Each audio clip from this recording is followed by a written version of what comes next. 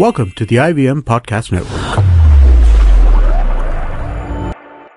Let me tell you about something that happened to me a long, long time ago. It was October 1947. I was hanging out with some of my buddies at the Starbucks in Connaught Place when a tall, thin gentleman walked in. He wore what would today be called a Modi jacket over a finely tailored kurta and the tightest churidar known to man. He had a Gandhi cap on his head and he wore a pair of dark glasses. Despite this inept attempt at disguise, I instantly knew who he was.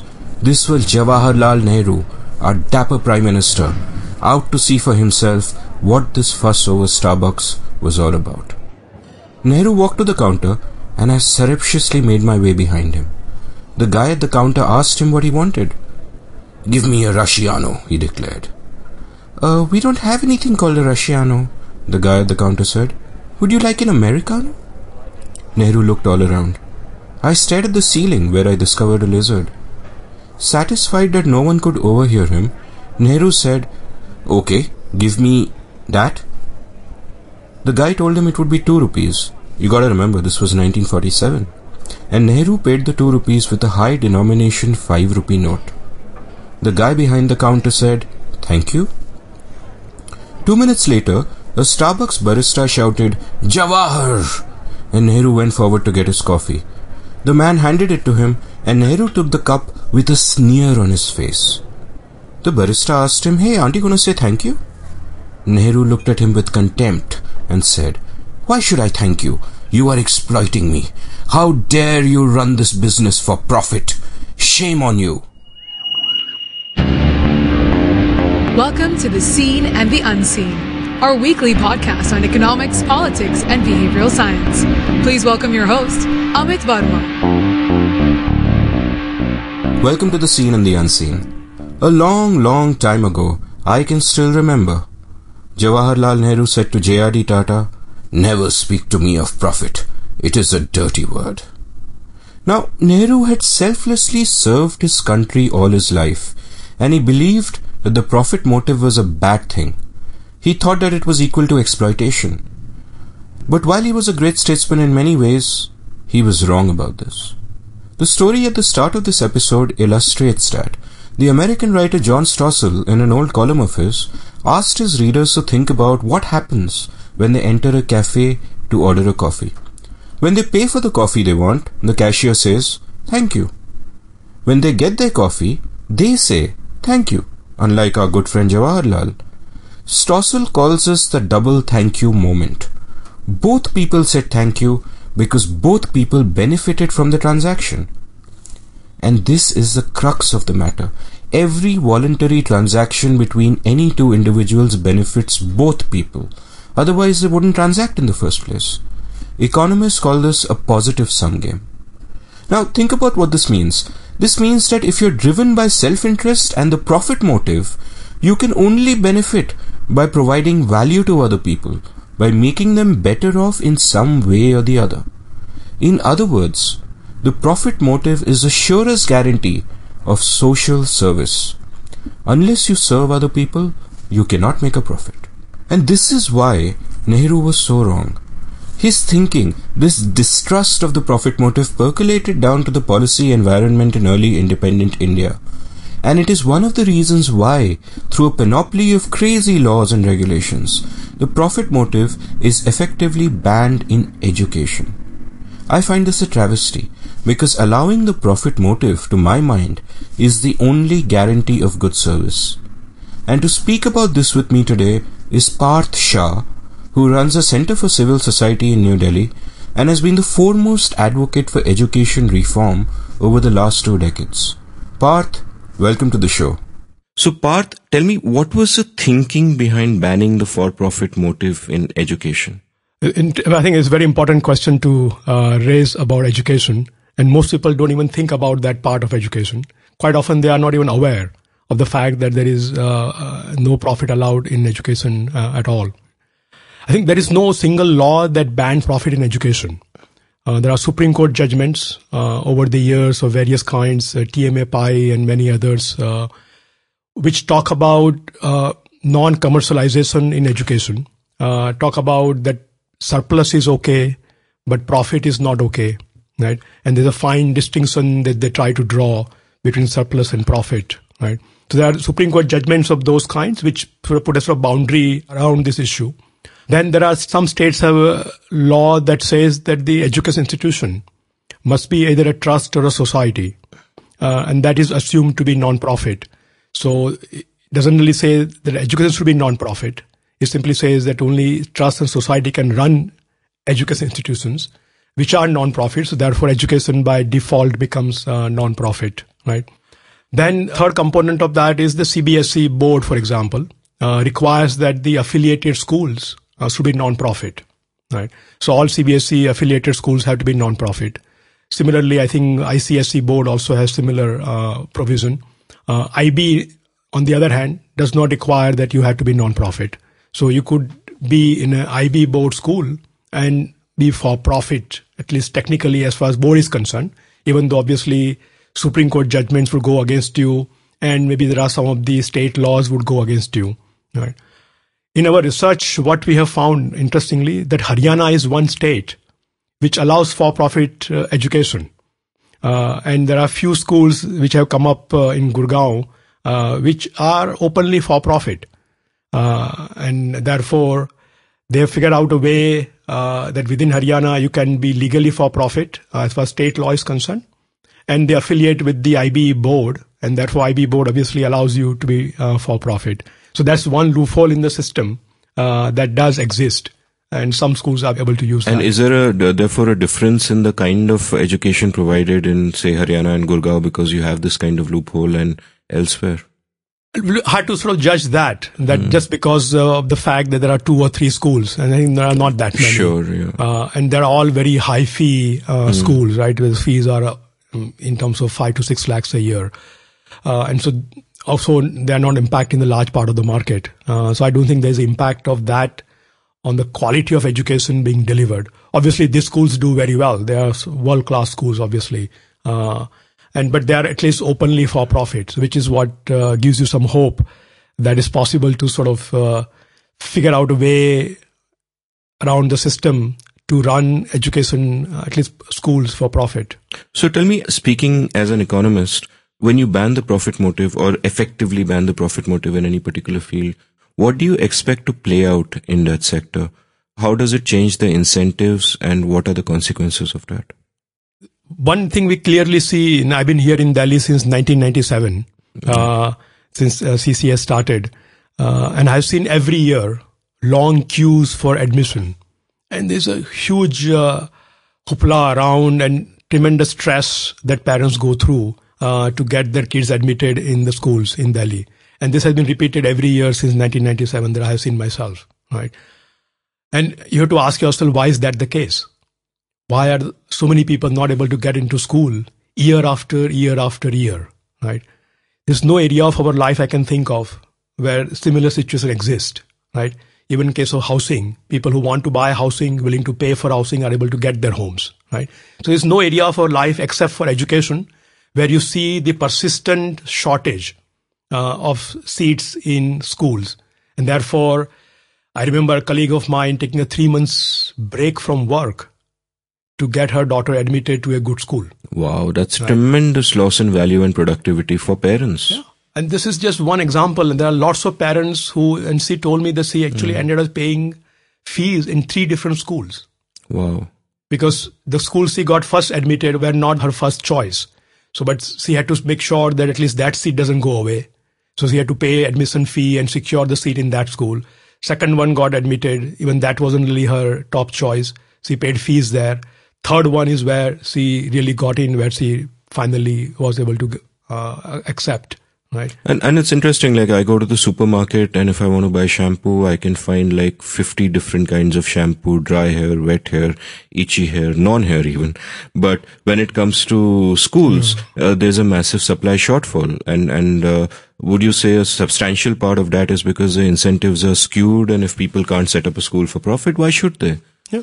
And so that's one part of it that uh, the access to capital is very limited. Right. So people who are actually very good in say running schools, whose heart into that uh, vocation, right? They will find it very difficult to start a school of their own unless they are independently wealthy Yeah. and have the resources to buy the land and build the buildings. Because right? no one's going to fund them as a venture capitalist because there's no return of profit. Exactly. No, Legally, no, they no, cannot provide that, right? So I think one thing that you see, a very clear example of that, and this is just glaringly obvious Mm. to anybody who wants to see it, that the non-profit requirement education has created this huge shortage, right? And so much suffering happens to parents and obviously to the kids in, in the Mm. result of it, right? People are unhappy with the schools they ultimately get. So that is very hard to even calculate what that means uh, for society as a whole, where a large number of children who feel that they are sort of stuck in a second, third rate school compared to what they would want to have, right?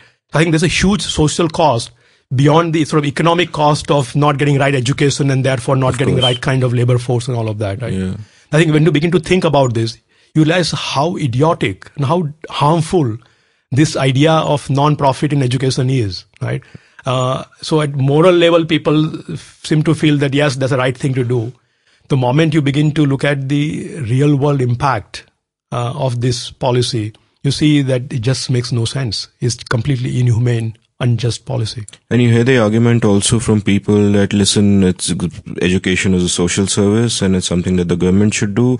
And they often say that if you're talking about private schools in the private sector, private schools are lower in quality, they charge too much and so on and so forth, which over the years you have, in fact, you guys have demonstrated convincingly is, it's just a myth. It's not true. Can you elaborate on that a bit? So I think when people think about private schools, they think of usually the high fee private schools, uh, DPSs and Vasant Valleys and international schools, right?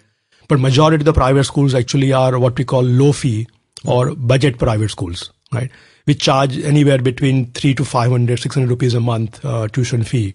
And this is where most of the lower middle class and even the poor now send the children to, right? Because government schools are not living up to even their expectations, despite the free midday meal, despite the free textbooks and uniforms. And in Delhi, for example, they get two jerseys during winter and all of those things which are given to them.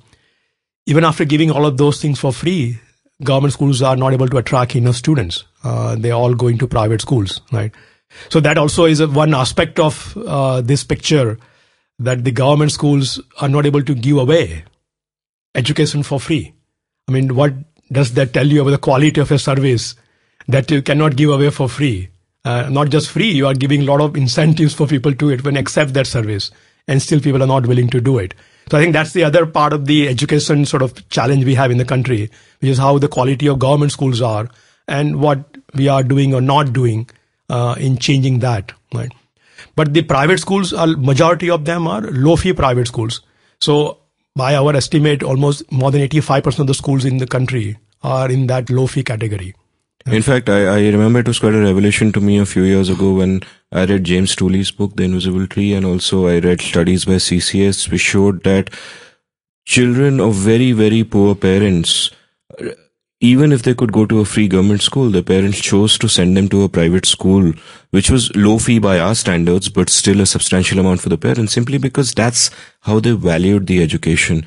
So my question for you is, all these low fee private schools which are opening or private schools per se, even if they're not legally for profit because there are so many obstacles to that, why do they open then? How do they function? What are the loopholes? Are they just doing some kind of jugaad to desperately, you know, because ultimately they do run for profit. I mean, that's why they would, they're not all just for out of philanthropy. How does it work? How does the system work? I think for small, uh, uh, low fee private schools, it's not really that much amount of money involved. If you think about it, you have 20 students in a class. You're charging 5 rupees a month uh, tuition fee. Hmm. That's about 10,000 rupees a hmm. month that you're collecting from one class. Hmm. Many of them have class 1 to 5. So basically five classes, right? So total income your for per month is 50,000 rupees.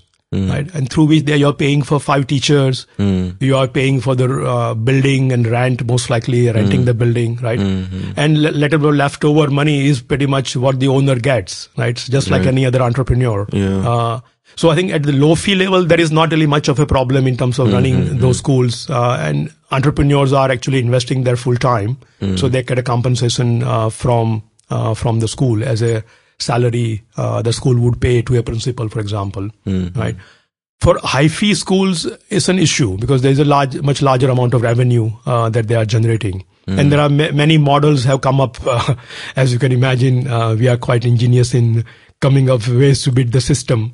Uh, and so one of the common model which is being used is to establish a sort of for-profit uh, service delivery company, uh, which will contract with a non-profit trust uh, and provide all the services and charge a fee.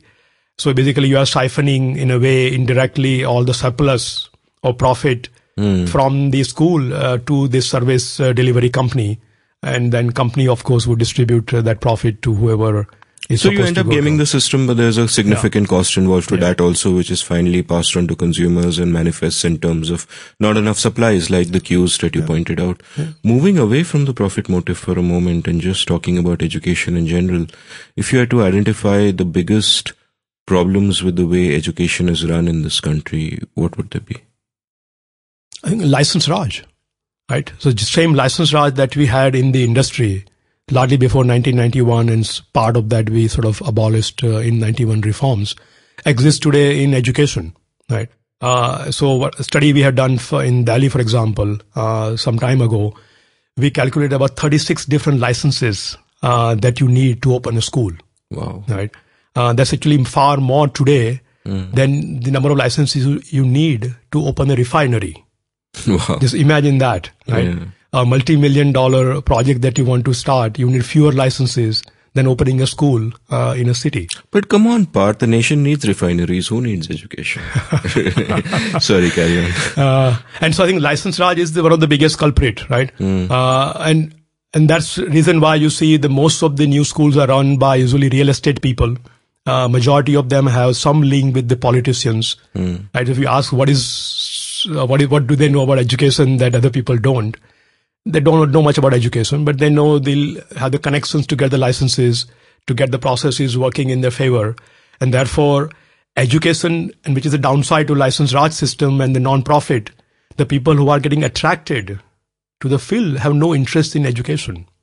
They have interest in other things, right? And those are the guys who are running our schools and colleges. So go to Maharashtra, go to Karnataka, many of the states, most colleges are run by politicians, right? Uh, and largely because of the fact that they are the ones who can uh, play the system of licenses. Uh, you and I just won't be able to succeed in that uh, area, right? So that's a huge cost of license Raj.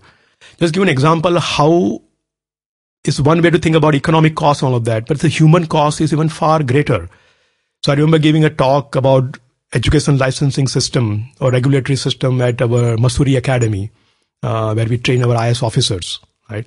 So after I gave my talk, one of the new IAS officers stood up with almost tears in his eyes, saying that, you know, what I really want to do in my life is to run a school.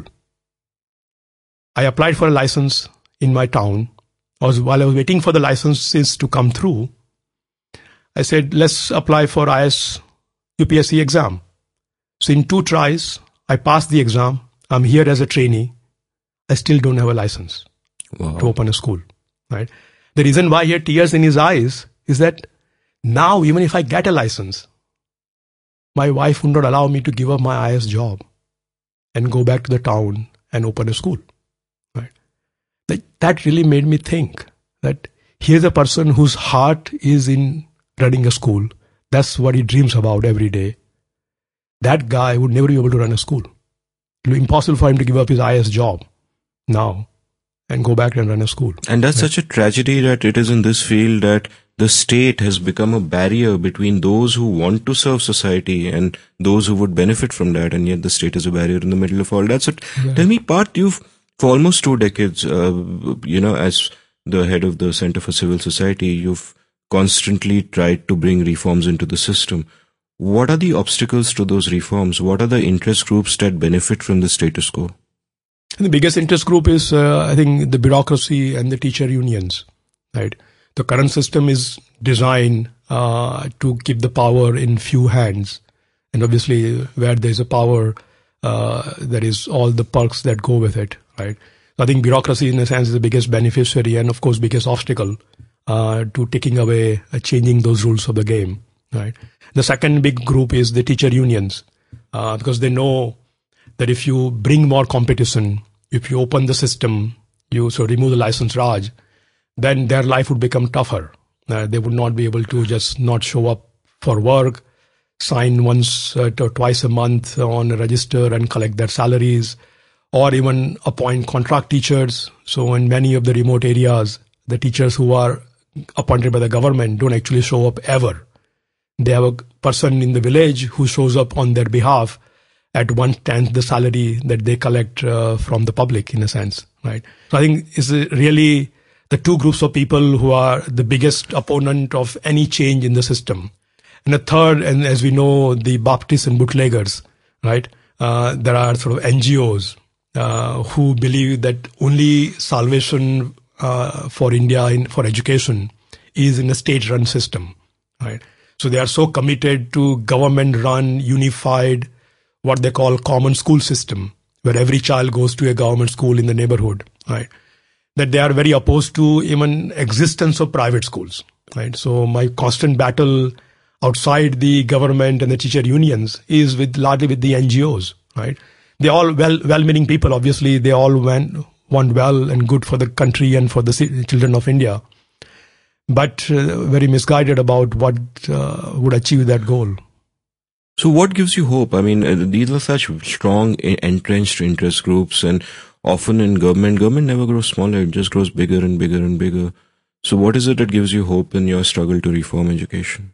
I think hope is that people are finding their own solutions, right? Mm. And and the system and the demand is so high, uh, the challenges are so huge that no government is going to be able to stop people from solving their own problems, right? So these budget private schools that I talked about are actually what I call community schools. These are the schools opened by people in the community. There's nobody coming from outside right. who goes to a slum area in a town and opens a school usually the guy who is living in that area, right? He sees the need. He sees there are people dying to get slightly better education, what government is offering them, and then he opens a school, right?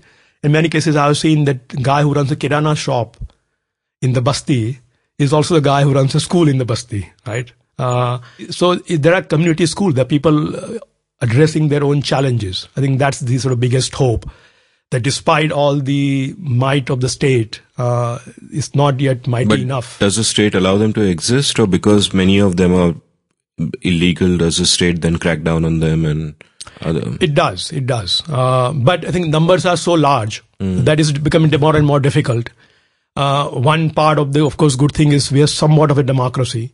So when a bureaucracy is striking hard on you, you can go to the politician, uh, and thereby buy some uh, time and some peace for yourself, right? Mm. And so many of these schools are very well organized uh, locally. So there are associations of these schools which work with the local politicians, also sometimes with the local uh, bureaucracy to make sure that they are on the good side uh, of, uh, of the system, right?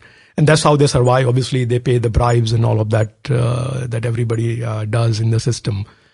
But I think that's one hope, and our effort has been largely to support these schools The one effort of CCS has been to do advocacy on their behalf, bring attention to who these schools are, what they actually do, how well they perform, right?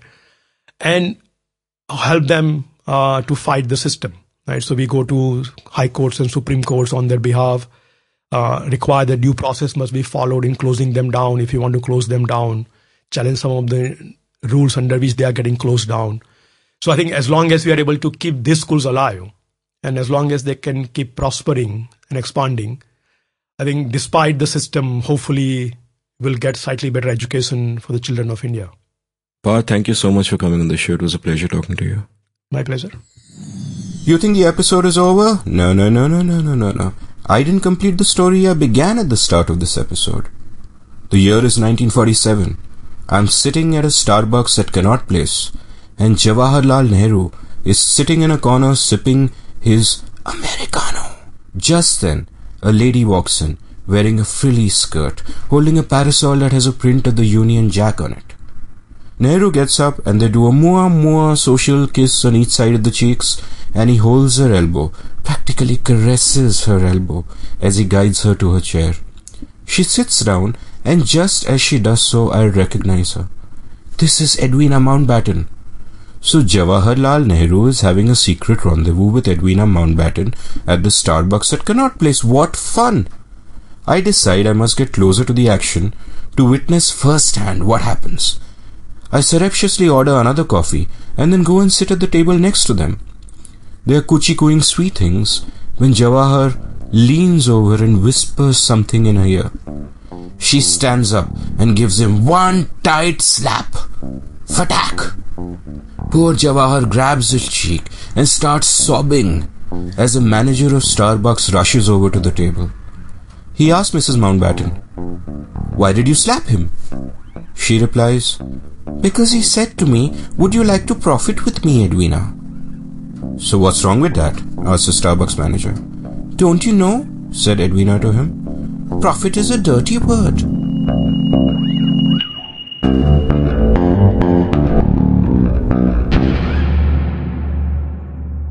Next week on The Seen and the Unseen, Amit Varma will be talking to Devanshu Datta about Digital India and the absence of privacy laws. For more, go to seenunseen.in.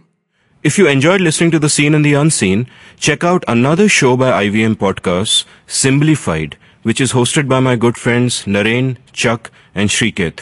You can download it at Audioboom or iTunes. Hi, this is Amit Doshi, and I wanted to thank each and every one of our listeners. It's been two years since I founded IVM, and it's been an amazing two years. We wanted to learn a little bit more about who is listening to our shows, and so we put together a short survey. The survey is anonymous, and we aren't going to be collecting any personal information. I would really appreciate it if you could take a couple of minutes out of your day and go to ivmpodcast.com slash survey and fill it out. Thanks, and please keep listening. Hey man, just help me out, man. I need some. I need some podcast, man. I haven't had a fix in a week. Just need some. Don't you worry about it. I got podcast galore for you, man. Just go to ivmpodcast.com. You can also find us on Facebook, Twitter, and Instagram. Thanks, man. I'm gonna check it out.